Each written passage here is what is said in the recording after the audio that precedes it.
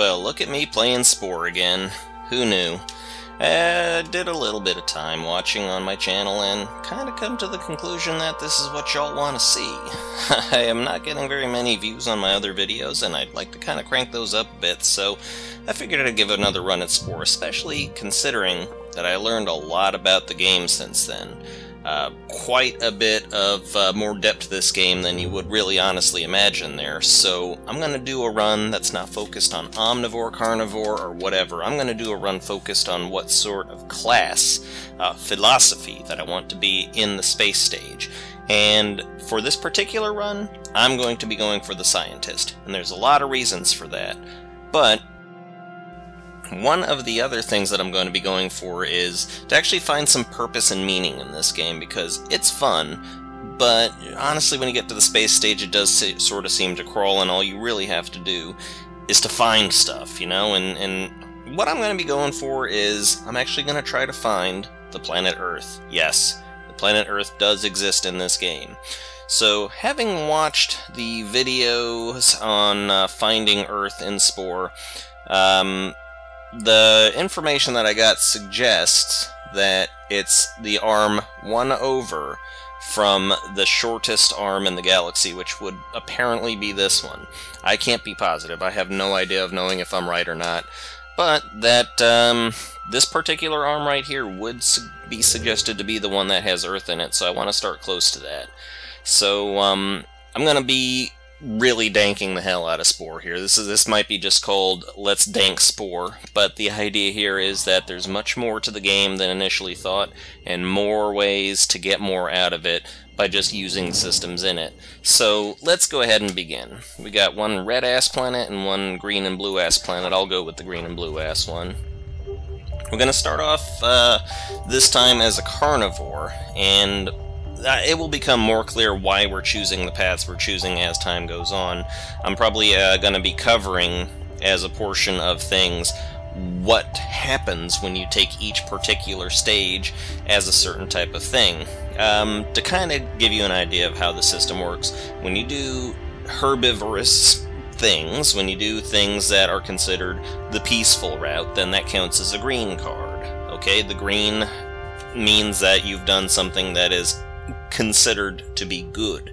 Then there's the red, which is, uh, in this case, would be the carnivore color, and that inherently means something that you've done that's wicked or selfish. And so every choice that you make in the game uh, affects that card that you get at the end of the stage and affects how you move on to the next. But um, it's not just what happens in the next stage after. Then, of course, there's the Omnivore card, which is blue, and you're kind of moderate and in the middle. So how you choose your philosophy for when you enter the space stage depends upon what combination of cards that you get and sometimes what order that you get.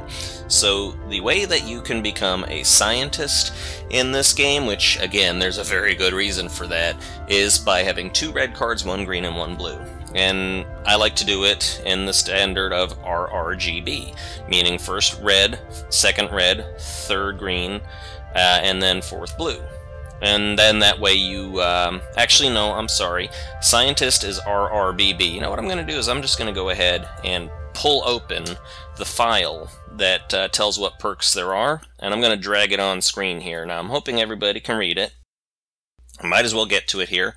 These are the perks you get from doing each stage by a certain color. So when you get to space stage, if you did any one of these particular stages with, let's say, a green card or a red card or a blue card, you will get that, that special feature. So the special thing you get from making it to space stage and taking the cell stage as a red is you get an increase in your weapon effectiveness. Uh, when you do the creature stage, then increases ship health, and tribal stage discounts on combat tools, and finally in civilization stage, decrease the chance of getting attacked by pirates. Now, RRBB equals scientist. So that means that you are going to get a scientist if you go with two red cards and two blue cards. It doesn't really matter what order you do them in, actually. But I chose this path because I would like an increase in weapon effectiveness, I would like increased ship health, I would like discounts on colonization tools, and I would like increased spice production. As you can see here, there's benefits to doing any one of these things anyways, and part of the reason why I choose Scientist is also because the special weapon ability thingy that you get is a it's an attack that will essentially, not essentially, it will wipe out an entire planet. It doesn't blow up the planet or anything, but it wipes out all the cities on an entire planet. So when you're trying to go to war, and you got a big old nasty T3 that you got to mow through, then that's going to take care of it for you. So hope you got a good look at this list of uh, the perks that you get. Um, this is pretty much the rewards that you get for completing these stages in this fashion. As you can see here, I'm going for RRBB. So the first R is the Carnivore. Now, um, since these are going to be scientists, and yes, I'm doing normal again, goddamn you all, um, then I'm going to go ahead and try to, um, you know what, I'll just leave the planet name as it is for right now, that's fine. Let's go ahead and get on into it. So, as usual, we start off with the asteroid coming to the planet. I'll go ahead and, and let this uh, whole thing be just yeah, I'll, I'll, go over the whole series again, because there's some folks that may have picked up on my first Spore Herbivore playthrough, which was literally my first actual video on YouTube, as far as me trying to put something up. And I remember talking about the Philae probe and shit at this point. You know what? This is going to be about the game now. This is going to be all about the mechanics of the game.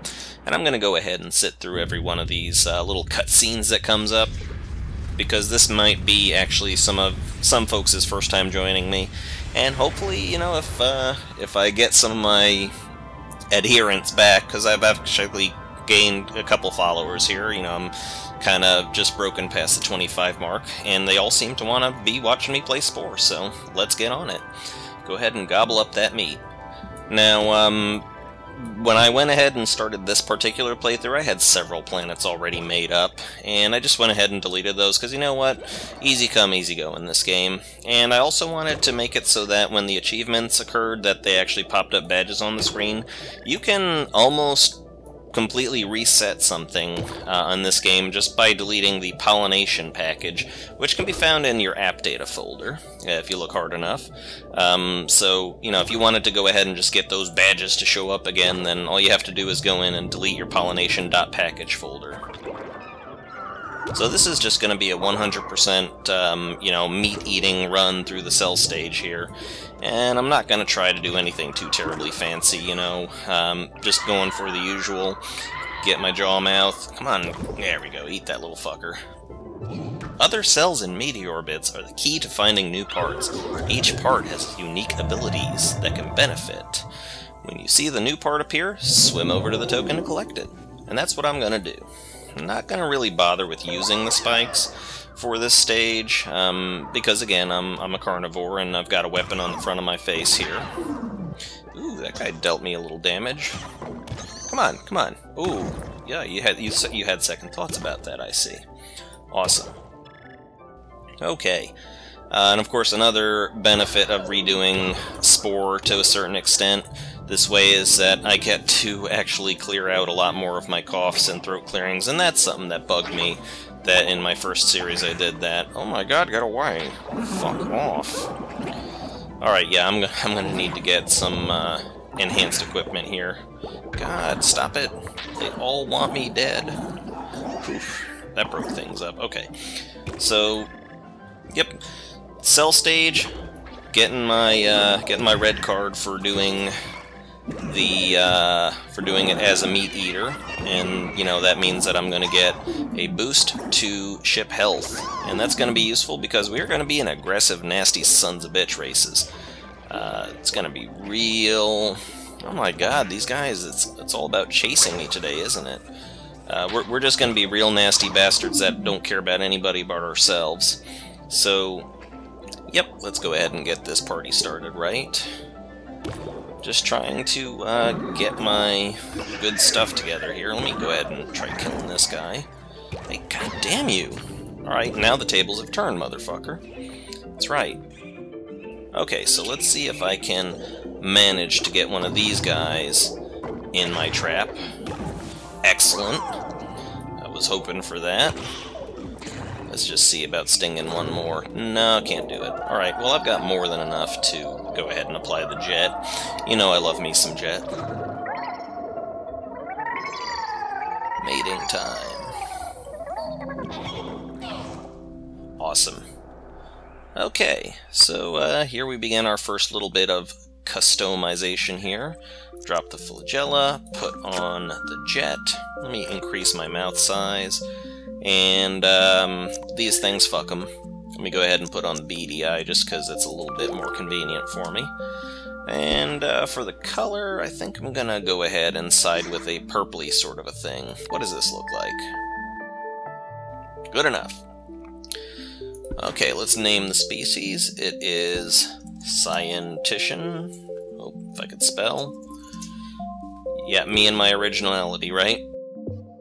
Okay, so back to the grind. Just uh, another one of my cell stage playthroughs here. And, um, yeah, so let's go ahead and get our shit. Chop that up, and I think I'll go ahead and kill a little bit, because why not? More for the money. Uh, most of the uh, cool stuff that I figured out how to do really doesn't come into play until the space stage, although there's ways to play uh, the other stages fairly easily as well. So, alright, now you know who I have to go after. These Finn bastards here. I want their part. Oh, hello. You seem to be coming into my little path here. Oh, no, no, no, no, no. You don't get to eat your way out of this. Bam. Awesome. Okay. I want to go ahead and apply that part. And I'm quite certain that there's going to be out there somewhere a poison part for me to pick up, so, you know, I'm going to play my usual thing. I, I just happen to feel like this is the best way to get through the cell stage without too much hassle. You know, put on the poison, and that way you are damn near impregnable. Ooh, this is... This is a little ugly. Fuck off, you. That's right. That's what happens when you take on the Reaper. Alright. It's pretty cool that the omnivores there, they still leave the dead body for you to uh, enjoy the meaty goodness. And I'll just go ahead and take advantage of this moment to get the omnivore mouth. Not that I'm going to use it, but you know me in completion.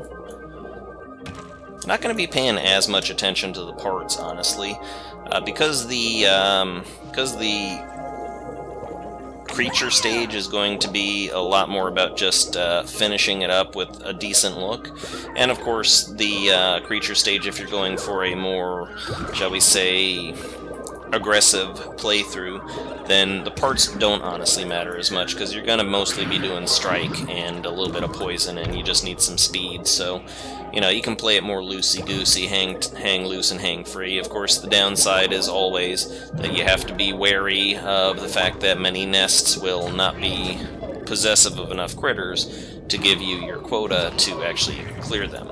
So I'm going to try to just buzz through these stages as quickly as possible here might as well go ahead and get our hands on this part, and yay, completist. See, I, I just like having those little accomplishments pop up there. So, awesome. Uh, yeah, I think I have enough to do the poison, so out of my way, motherfuckers. Beat it. There we go. I'll skip through shit we've already seen. Apply our little poison pumps, and uh, away we go. And uh, yeah, that's going to be the stage as soon as I'm done here. Alright, so get on it, get on it, kill some shit, take a hit. That's okay. Gotta, gotta spend money to make money. Speaking of money, I'm broke as fuck. Uh, still not brave enough to try and put my uh, Patreon link up. I don't know as I'm going to uh, be perceived well or not for that, and, you know, perception's half of the game. I'm not literally going after this to make money, I just want to go ahead and know, just try to get some viewership and, and share some of my uh, experiences in the games with folks. Uh, Bloodborne came out, that's really cool. Also, um, the new DX11 version of Dark Souls 2 came out, Scholar of the First Sin, and that's pretty cool. I went ahead and bought that. You get a really good deal on that. If you already own Dark Souls 2, then it's just a uh, $20 upgrade to the DX11 version and comes with all the add-on content. So that's a really good deal if you uh, had already owned Dark Souls 2 and you wanted to just upgrade. So, know, I'm also quite uh, happy to see Marcus and Franz back doing their thing. Uh, it's been a long time, and I know they did a lot of hard work.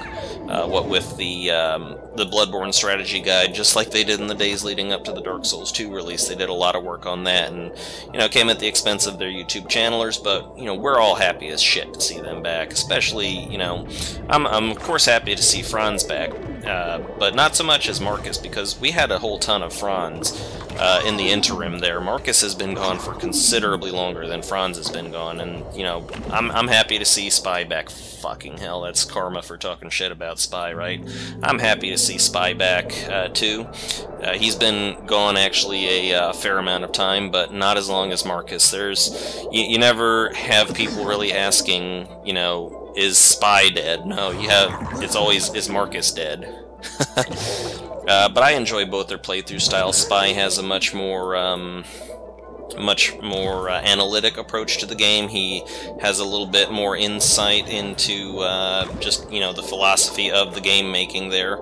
Not that Marcus doesn't have that as well, but he just feels a lot more like somebody who's playing the game and loving it and having fun with it. So, you know, I watch them both, and I love watching them both. And, and they're just both for different reasons, and, and it's pretty cool, you know, that, that they're friends anyways. I mean, they not necessarily hang out with each other, because obviously Marcus lives in America and Franz lives in, in Germany, but you know, it's just nice to think that the uh, the folks that you watch on the internet playing the games that you enjoy are, you know, hanging out with each other. It's, it's just a nice thing to see. So, if I can get away from this guy, then I'll be able to finish up the cell stage with some dignity. Let me go after this prey species right here. This is my meat, fuck you. Oh my god, you little robber. There you go. See, that's what happens when you take on the Poison Reaper.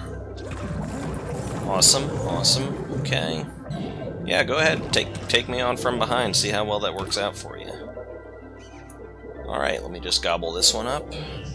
Yoink. Oh, they don't count for shit. Okay. There we go. Here comes Brain. Yeah. That feels good, don't it? Mm-hmm. Congratulations, you're on the path to sentience. Awesome, so let's go ahead and take this opportunity. So as you can see, the path led us to being a carnivore, which is uh, embodied by this red card here. And uh, your benefit in the creature stage for getting carnivore is you got the Raging Roar, which will uh, kind of get enemies off your ass. And as you move along, you get more things as a carnivore. Uh, sorry, as the um, in the tribal stage, you get traps and so on and so forth. So as you can see, our reward for when we get to the space stage is that we have an increase in the effectiveness of our weapons. So that's going to be really good. So we're going to just go ahead and uh, get our achievement and get onto land. And before we do that, we are going to design our critter. Now, uh, I've got a little, little hunch that I'm going to test here. And the, my hunch is that um, it might be a good idea to go ahead and glut yourself on parts in this particular portion of things. Just put all the shit on because that may mean you get more as you start out. Now, um, my creature is going to be a bit of a fleshy, bulbous sort of a creature. Good, good. And uh, let's go ahead and select a look for him. I like the purple look, partially because it looks nice, and partially because purple shows up very well on the map when you're trying to determine your nation from the others. So let's go with the Brontosaurus leg, and uh, just make that a little bit wider, a little bit thicker, because these are going to be some uh, fairly corpulent looking guys. Alright, gonna go ahead and put on my meat-eating mouth, and try to hide the poison a little bit here. Shrink it down, and then bring that up there, and whew, that's a little bit much, okay. And then we're gonna stick back with the beady eyes. Hello, world. How you doing? And let's just stick more parts on, you know? Just put them on, put them on, spend all our parts here, and then, you know, I have the suspicion that when we go into the later stages, we might just actually have the possibility that we'll get more DNA points for having these on. So We're starting off at zero. We completely spent them all. I'm curious to see how many DNA points we have to spend once we're in. So let's save and exit. And we will go up to our dry land home. I am pretty sure I took off all of the spore mods uh, before this. I'm not. I, I, think I'm pretty sure that this is not the. Uh, this is not a background that comes from a mod. So I'm going just pure spore right now. Spore mods are fun. Uh, they can really uh, make things more interesting. But you know, purists. Hey everybody, come on up. There's oxygen.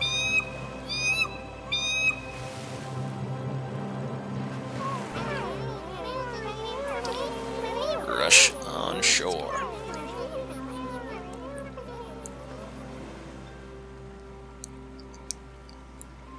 Alright.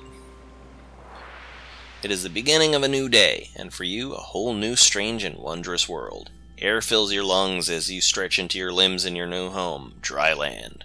The race to evolve has begun.